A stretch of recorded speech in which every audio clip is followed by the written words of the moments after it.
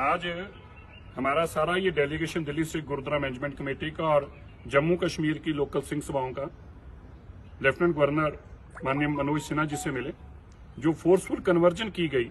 Gun point के ऊपर हमारी बच्ची अगवा की गई। जबरन निकाह किया गया, जबरन उनका धर्म बदला गया। उसको लेकर हमने चिंता ज़ाहिर की। हमें ये आश्वासन मिला कि किसी भी सूरत में वो बच्चियाँ जो अगवा की गई हैं, जिनका जबरन निकाह पड़ा गया, वो इस किसी भी सूरत में वहाँ नहीं रहने दी जाएँगी। परिवार की बेटियाँ जो हैं, वो सुरक्षित परिवार के तक पहुंचाई जाएँगी।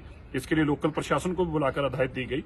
और यह भी कहा गया, हमने उनको यह भी आग्रह किया कि जिस तरह से यूपी और मध्य प्रदेश के अंदर इंटर रिलीजियस मैरिज एक्ट बने हुए हैं, ताकि फोर्सफुली जो मेजोरिटी कम्युनिटी है, इस तरह से धक्का ना कर सके। और हमारी इस बात की भी चिंता है कि जो लोगों को आज कहा जाता है कि वहाँ से कश्मीरी पंडितों को वापस लाया जाएगा तो आप उनको रिहेबिलिटेट कैसे करेंगे? जो लोग यहीं बैठे हैं, जब वही सुरक्षित नहीं महसूस करेंगे? तो मैं धन्यवाद करता हूँ। इन सभी चीज़ों पर उन्होंने संगीन इसका नोटिस लिया है और हमें अश्योर किया है कि किसी भी सूरत के अंदर हमारी मिनोरिटी के राइट्स को किसी भी सूरत के अंदर, चाहे कितना भी स्ट्रिक्ट एक्शन लेना पड़े, कोई हार्म नहीं होने दिया जाएगा और बेइंसाफी नहीं होने दी जाएगी।